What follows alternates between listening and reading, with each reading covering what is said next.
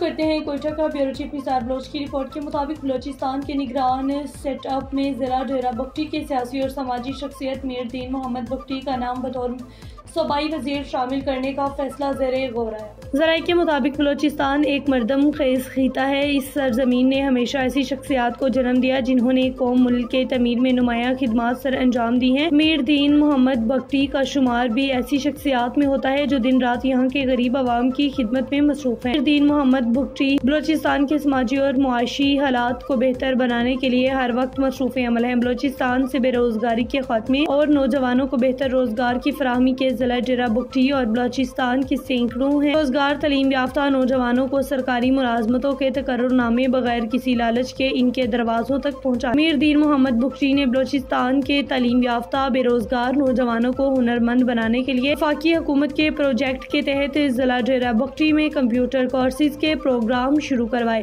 हज़ारों नौजवान इस प्रोग्राम से मुस्तफ़ तो होने इसने बलोचिस्तान के सैकड़ों अफराद को रोज़गार के मौके फ्राहम किए, रिक्शे लेकर गरीब अफराद में तकसीम किए।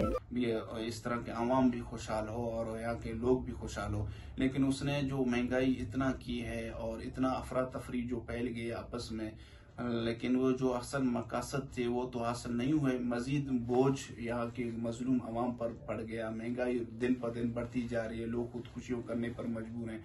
लोग अपने पैरों में जो है लखते जिगर को मारने पर मजबूर हैं। किस वजह से? इस महँगाई की वजह से। देखें कि आप पिछले दौर में आप चले जाएँ वहाँ अच्छे दौर उस वक्त होते थे। महँगाई बहुत, उनका रेशो बहुत कम होता था। लेकिन आज कल आप देखें, एक चीज़ बढ़ जाता है, वो तो बहुत मुश्किल से उसकी महँगाई या कम हो जाता है। दस रुपया पेट्रोल की बात करें या किराए की बात करें या जो खाने पीने की रोज़मर्रा की चीज़ें हैं, वो तो एक दफ़ा बढ़ जाते हैं। मैंने तारीख में देखा, आप भी देखते आ रहे हैं। वो मुख्त अदवार में वो कम नहीं हो गए। मजीद बढ़ते जाएँगे, लेकिन कम नहीं हो रहे हैं। लेकिन हमारे कौम को भी ये चीज़ें सोचने चाहिए उनको एक सफ़े पर पेज पे होनी चाहिए।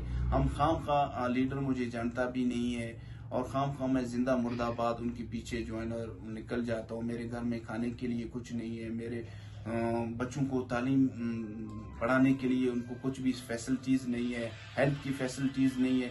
और कुछ फैसिलिटीज़ है नहीं जो रोज़मर्रा की चीज़ें होते हैं, बिजली, गैस, रोडे वगैरह, इस तरह के माहौल हमारे पास है नहीं। फिर हम खाम खा निकलते हैं, रोडों पर जो है ना, गाड़ियाँ भी तोड़ते हैं, लोगों को सरकारी इमारतें भी को भी नुकसान देने की कोशिश करते हैं। ये नहीं सोचते भाई हाँ उनका क्या कसूर है जो हम नुकसान देते हैं? कसूर तो